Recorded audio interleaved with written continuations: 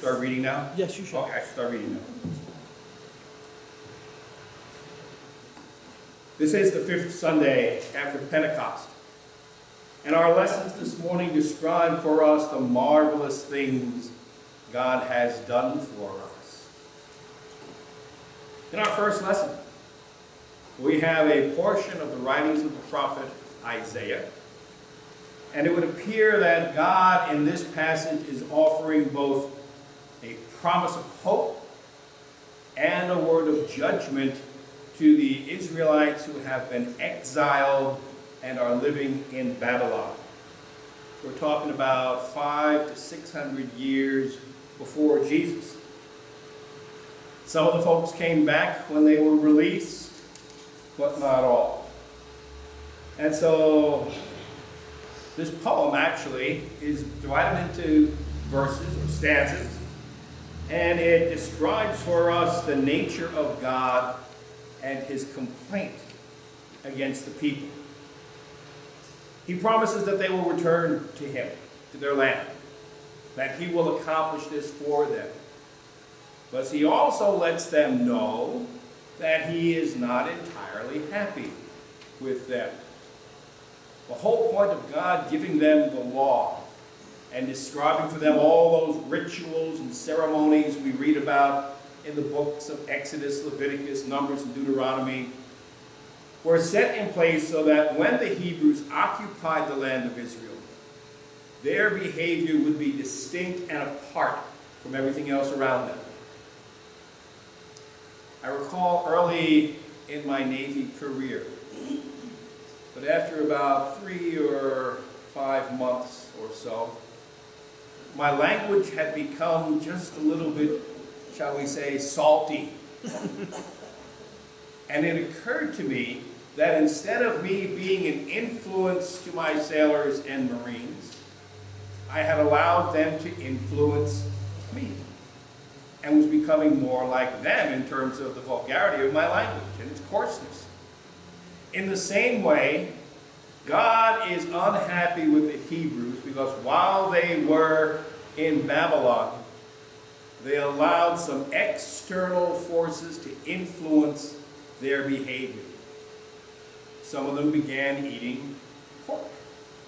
And that's what we read about in the gospel lesson.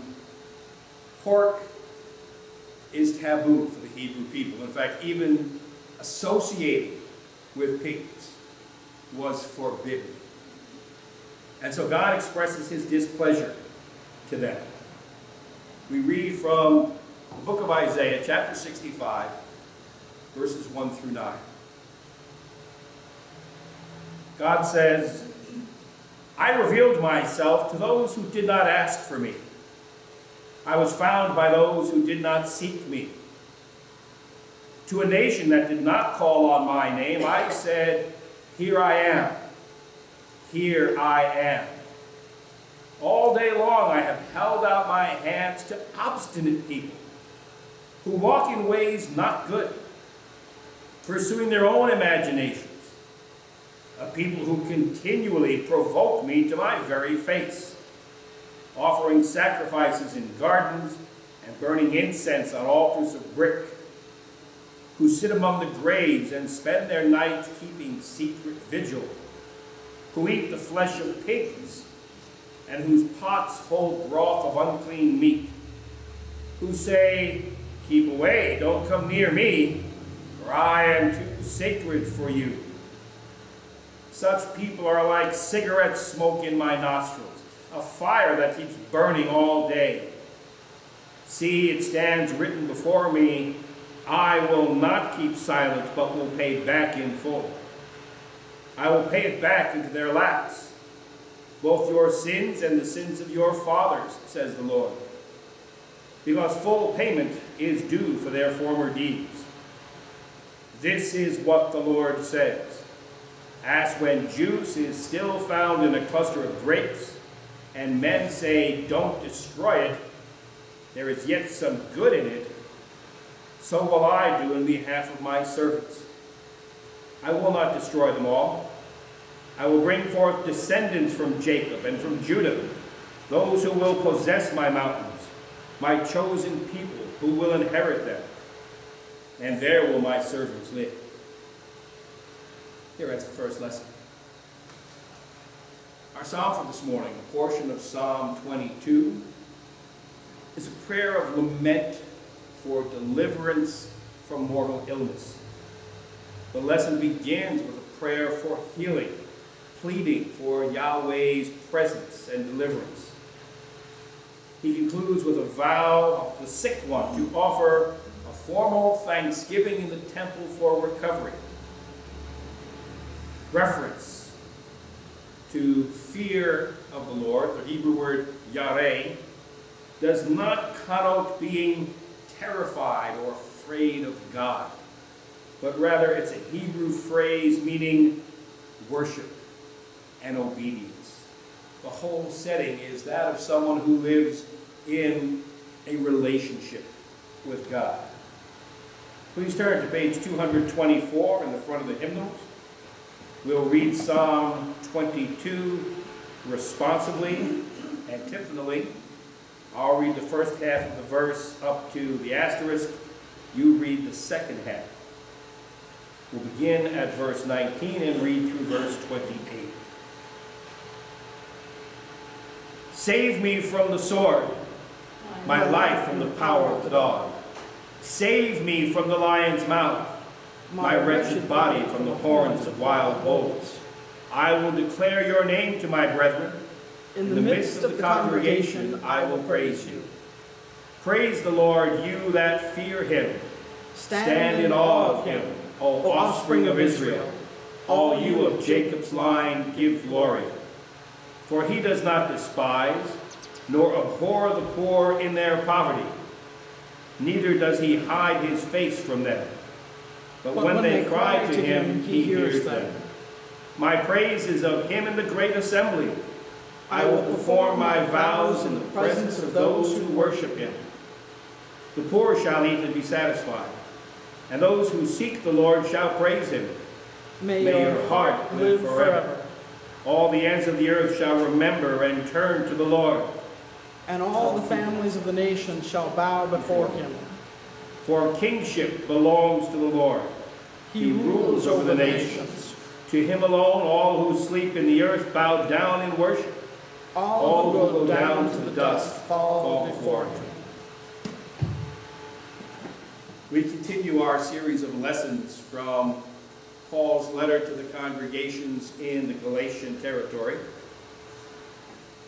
Coming from Tarsus, which was a Gentile city, Paul knew what it was like to live as a Jew in a foreign context, much like we heard about in our first lesson. There was a minority group in the Galatian territory who opposed Paul and his teachings. And so Paul here is probably offering to us his most decisive statement that faith in Jesus Christ has removed all barriers to a relationship with God and with one another for all those who believe. Certainly in a time such as ours, where people have all sorts of barriers that we use to separate us from one another. Where tragedies like Orlando or so many other places emphasize that hatred and divisiveness. Paul, whom everybody assumes was a male chauvinist pig, because he wrote to the Corinthians and said women should not have positions of authority over men. Here in the Galatian passage, puts men and women on an equal plane. In the letter to the Galatians, chapter 3, verses 23 to 29, St. Paul writes, Now before faith came, we were imprisoned and guarded under the law until faith would be revealed. Therefore the law was our disciplinarian until Christ came, so that we might be justified by faith. But now that faith has come, we are no longer subject to a disciplinarian. For in Christ Jesus you are all children of God through faith. as many of you as were baptized into Christ have clothed yourself with Christ. There is no longer Jew or Greek. There is no longer slave or free. There is no longer male and female, for all of you are one in Christ Jesus. And if you belong to Christ Jesus, then you are Abraham's offspring, heirs according to the promise. Here ends the second lesson. We talk about being a follower of Jesus. And in the past couple of weeks, perhaps we've been given a reason to question why we might want to do that. Groucho Marx was once quoted as saying he would never belong to any country club that would accept him as a member. in the past couple of weeks, we've seen Jesus have a relationship with a hated Roman a centurion who actually was a man of faith. We heard last week about Jesus' encounter with a fallen woman, one of those bad people.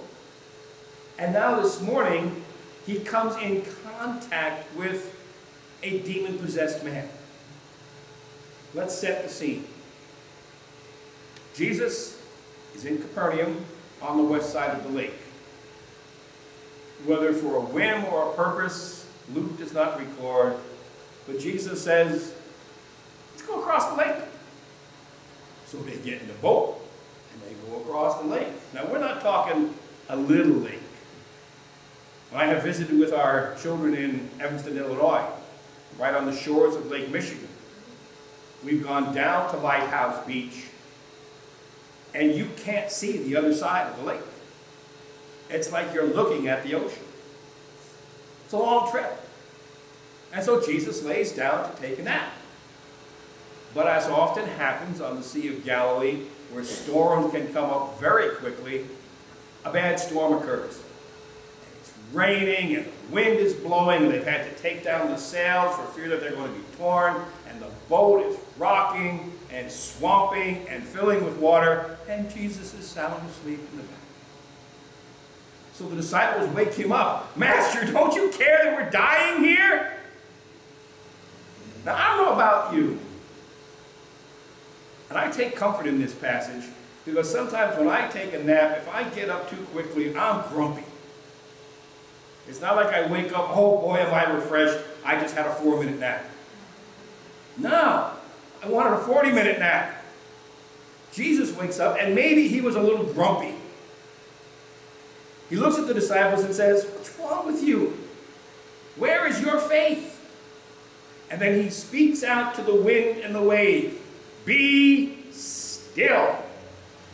Be serene, is the translation. And immediately the wind stops and the water is smooth. And the disciples are stunned. And they ask one another, Who is this guy? That even the wind and the sea obey him. So they come to the other side of the lake, to the land of Gennesaret, and immediately they are greeted by a demon possessed man.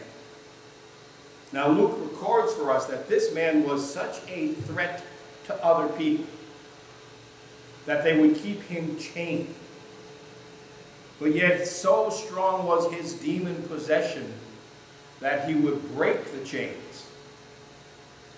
He never wore clothes, and he lived in the cemetery amongst the tombs.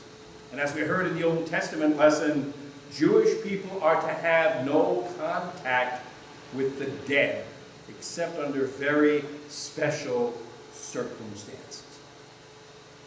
So the fact that this man has been living with the dead is a reason for the disciples to want nothing to do. Yet Jesus immediately commands the demons to leave him. The man responds with a question that we sometimes ask of God What do you want me to do? How would you have me live? Jesus asks for the identity of the man, and he replies, Legion, for we are many. Now, a Roman legion was a company of some 600 Roman soldiers. We don't know for a fact that there were 600 demons, but there was a lot of them. And so Jesus commands the demons to leave. And they plead with Jesus, no, uh, let us go into the pigs. Do not send us into the abyss. And if you know your scripture, there are several passages, most notably Revelation chapter 20, verse 3, which speaks of the abyss as a deep, bottomless pit into which Satan will eventually be thrown for eternity.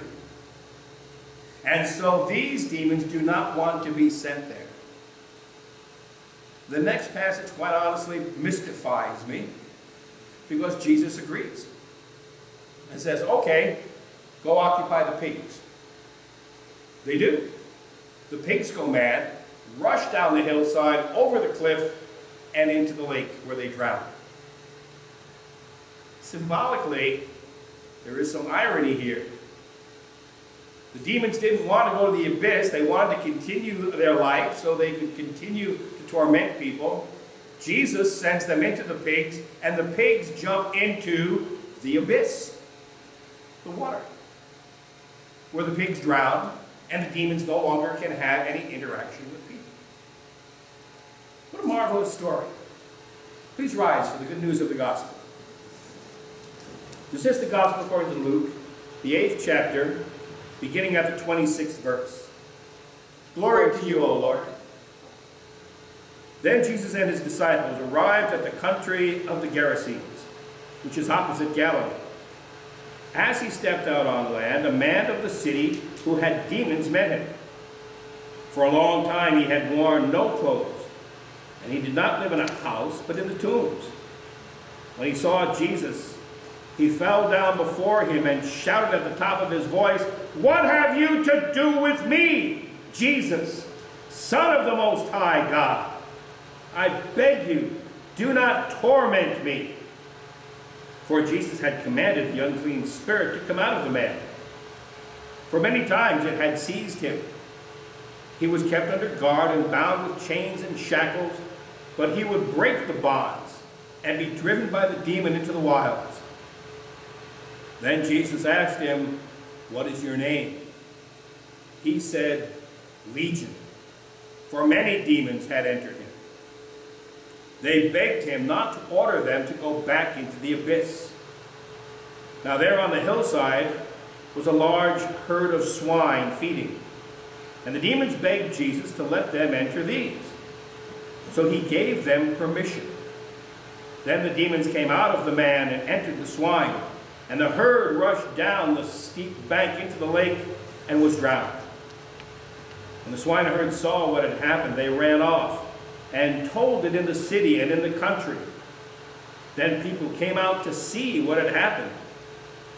And when they came to Jesus, they found the man from whom the demon had gone sitting at the feet of Jesus, clothed and in his right mind. And they were afraid. Those who had seen it told them how the demons had been healed, or the man possessed by demons had been healed. Then all the people of the surrounding country of the Gerasenes asked Jesus to leave them, for they were seized with great fear. So he got into the boat and returned. The man from whom the demons had gone begged that he might be with him. But Jesus sent him away, saying, Return to your home and declare how much God has done for you. So he went away, proclaiming throughout the city how much Jesus had done for him. This is the gospel of the Lord. Praise to you, Lord Jesus Christ. Let's be seated and we'll sing our next hymn.